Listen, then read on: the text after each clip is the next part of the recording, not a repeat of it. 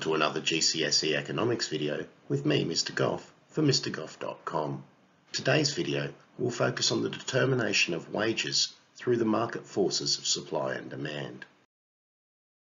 Like with prices, wage rates will always trend towards equilibrium.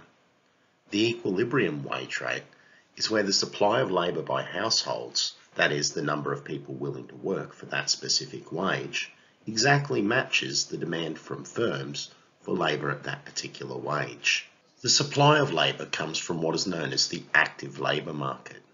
This means all those people that are willing and able to work at current wage rates. This means it doesn't include groups like students, pensioners and the long-term ill. Demand comes from those firms that require workers. There are a number of factors that can affect supply in the labour market. We're going to take a look at each of them in detail, but first let's take a look at what happens when there's a left shift or a right shift of supply in the labour market. A left shift of supply leads to higher equilibrium wages but a lower number of people employed, whereas a right shift of supply leads to lower equilibrium wages but more people being employed. If wage rates go up, then some people that weren't prepared to supply their labour at all may now think that it's worth supplying their labour, and other people may be more willing to do things like overtime or extra shifts because the wage rate is higher. Both of these things contribute to a right shift of supply. On the other hand, if the wage rate were to go down, then the opposite would happen with people less willing to take extra shifts and less people willing to supply their labour at the current prices. If workers are able to get paid at overtime rates or earn performance bonuses, then more workers will be willing to put in more time, leading to an overall right shift in supply. If the size of the workforce in a country grows, then there will be a right shift of supply. If it shrinks, there will be a left shift of supply. The main factors that affect this are the difference between the number of people entering the workforce at working age and the number of people leaving at retirement age, as well as net migration to the country. Non-monetary factors like working conditions, opportunities for promotion and job security also influence the number of people willing to supply their labour. In recent times, flexible working and working from home has allowed a number of people who would have otherwise thought that a regular job could not fit around their other commitments to enter the workforce. This has led to a right shift in supply of labour. The general level of education and the number of qualifications people obtain in a country will greatly affect the supply of skilled labour within that country. There are also a number of factors that can affect demand in the labour market.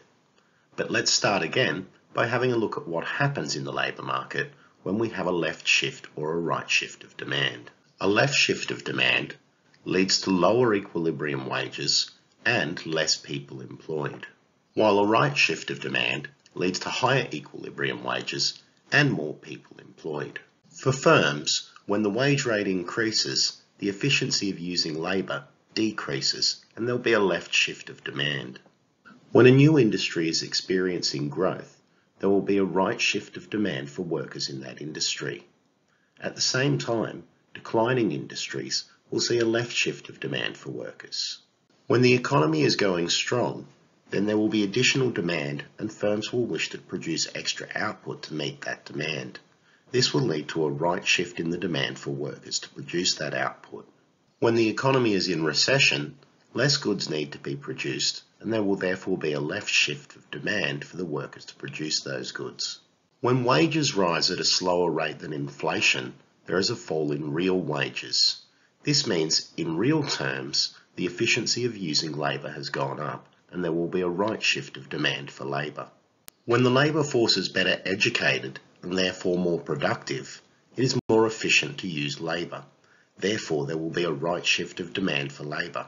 And finally, when firms are making a lot of profit, they're likely to reinvest that so that they can grow their business.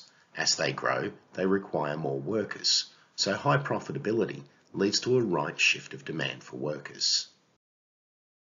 Supply and demand can also help to explain the difference in wages that different people see.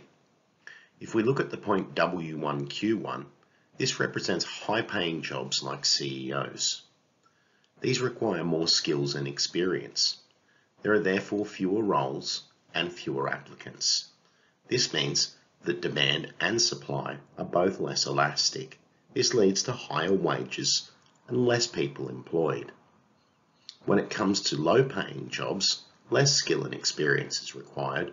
There's more different roles and more applicants to go for them, so both supply and demand are more elastic and we get a much lower wage with many more people employed at it. That brings us to the end of this video on the determination of wages. Join me again soon when I'll be looking at gross and net pay. Try the resources at mrgoff.com to help you revise the economics, and until next time, it's bye for now.